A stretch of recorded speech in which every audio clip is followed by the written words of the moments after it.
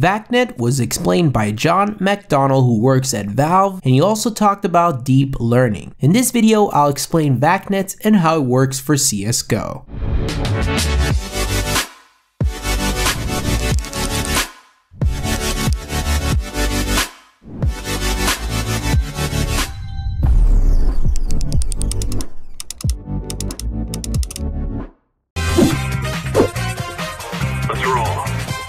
Hey guys, salut mes amis och hallå gubbar, Maxim here. So this very interesting conference session on GDC by John McDonald explained how Valve uses deep learning methods to combat cheaters in CSGO. What they did was create the project known as VACnet. VACnet, to begin with, is not something new. It's been in the game for about a year now. It's also not an upgraded version of Valve's anti-cheat known as VAC. It's basically an additional system that can be used for other games as well. So what is VACnet? In short, VACnet works together with Overwatch to bust cheaters by using deep learning. What it does is that it analyzes players, and if it thinks that someone is cheating, it sends them to Overwatch. VACnet learns to spot cheaters based on our own judgment skills of who we think is cheating or not. Each time we decide to convict a player for being a cheater or not, VACnet will receive the data, learn from it, and evolve. In the end, the system will become powerful enough to know for sure who's cheating or not.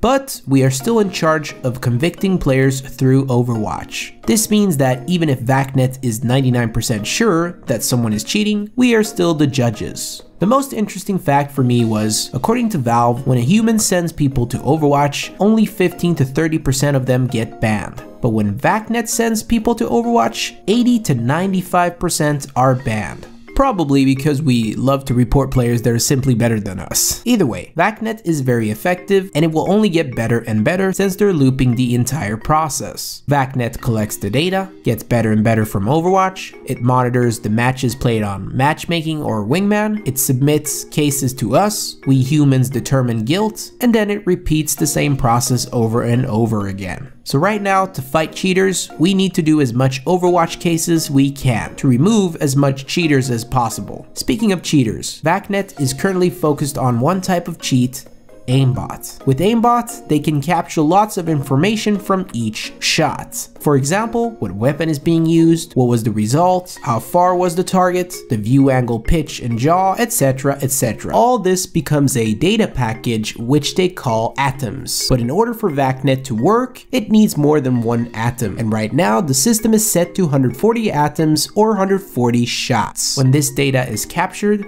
the system knows when to send someone to Overwatch. Now you might be wondering, for a system like that, to check every shot from every player in every match, they probably need like lots of servers to handle all the work, right? Well, that is very true. Since CSGO has about 600,000 matches a day, they need around 1700 CPUs working non-stop just for VACnet to work. I like this bit of information because it puts some perspective into how much people are actually playing matchmaking. And it also shows that they do care about cheaters ruining the game. So the future of VACnet is basically to expand it so it catches other types of cheats and release it for other games and services. I think the idea of VACnet is pretty cool, and it's clever by Valve because they're not the ones handing out the game bans. We are but maybe in the future, the system will be so smart that we won't need to. I'll link the full video so you can watch the conference session down below. What's your thoughts on this?